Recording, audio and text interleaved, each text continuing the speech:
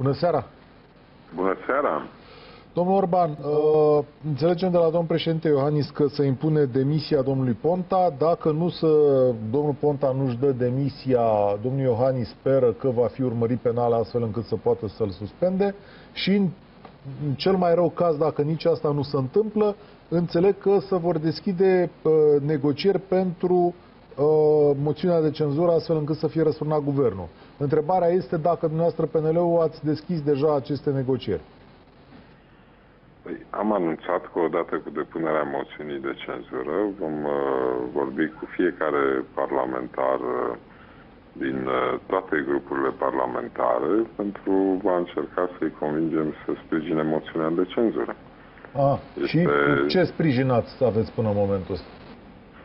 Uh, am depus moțiunea cu 183 uh, de semnături. Uh, în mod evident, uh, avem un număr mai mare de voturi.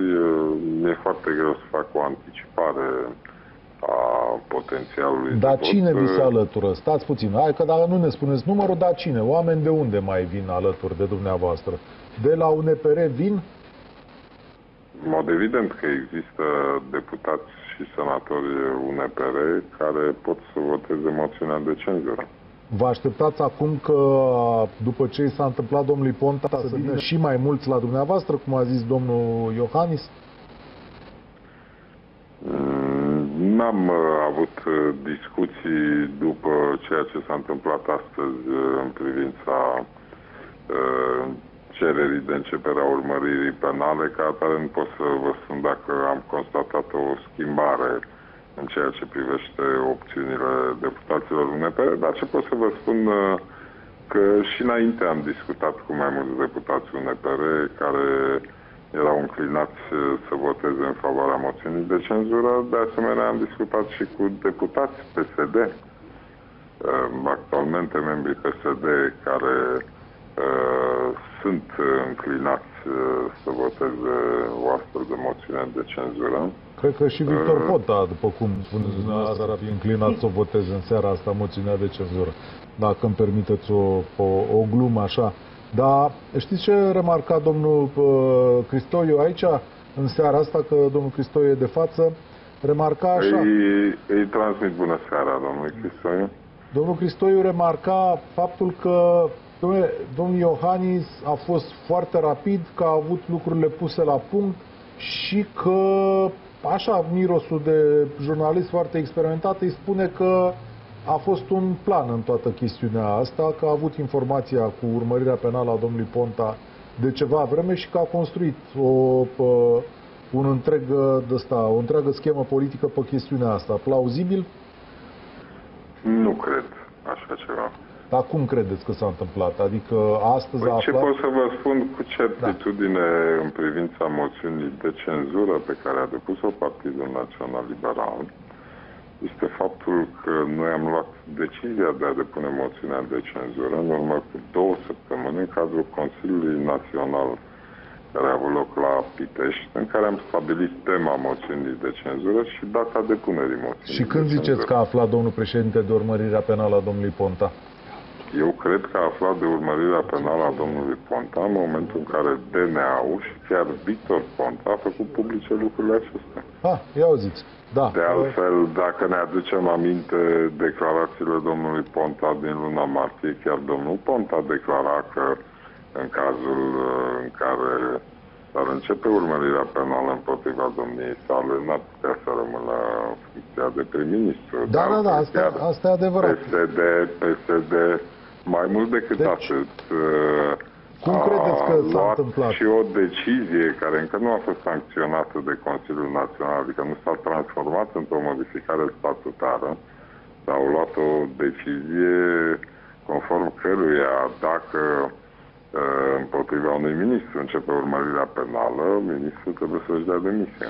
Deci cum că, că și noi am discutat, să știți că și noi am discutat în seara asta și am stabilit că e foarte probabil că astăzi dimineață când televiziunile au dat uh, uh, vizita domnului Ponta la DNA, domnul Mihalache să-l fi informat pe domnul Iohannis de ceea ce se întâmplă. Să-i spună domnul președinte, începe o criză constituțională.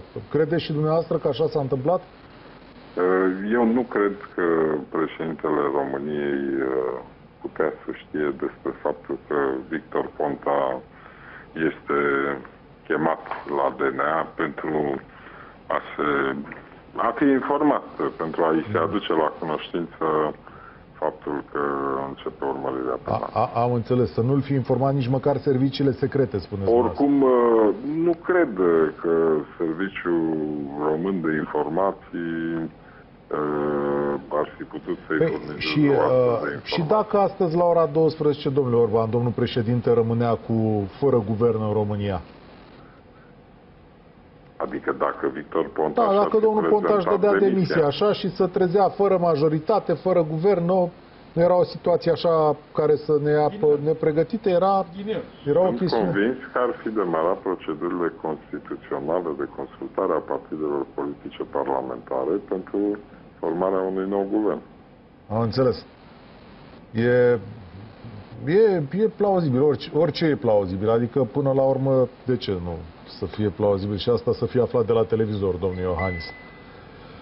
Da. Uh, bun, înțeleg că luni vă ceți la negocieri să discute și chestiunea asta. Uh, rămâneți la varianta cu domnul Predoiu, nu? Evident, uh, decizia Partidului Național Liberal uh, în privința uh, persoanei desemnate ca și candidat pentru funcția de prim-ministru este Cătălin Predoiu. Ah, și poți să discutați despre asta ce? Spuneți, domnul uh, președinte, am reușit să adunăm pentru domnul Predoi o majoritate de sau avem următoarele șanse la... Consultările de luni au fost inițiate de Claus Iohannis înainte de Domnul Orban, uh, evenimentele de astăzi. domnul Orban, deci stați, Da. lăsați. Președintele a declarat în seara asta că vorbește despre moțiunea de cenzură, despre viitoarea majoritate, despre Predoiul la consultări. Numai aia cu strategia s-a dus. Adică e și aia, dar se vorbește despre viitorul guvernului. Adică nu mai vorbim din cărți. Acum a în trecut... emisiunea televizată În pe emisiunea care televizată, probabil a da. avut-o. Da, da. Am În înțeles. emisiunea Vă- televizată. Vă mărturisesc, vă mărturisesc că nu am urmărit această emisiune și nu sunt la curent Am, cu am înțeles. Da, uh, declarațiile. Dacă a anunțat că se discute și această temă, înseamnă că se va discuta și această temă. da, e, fo- e foarte, foarte uh, posibil. Dumneavoastră mergeți la Cotroceni, că, adică e sigur că mergeți, că am înțeles de la cei de la PSD că s-ar putea ei să nu meargă.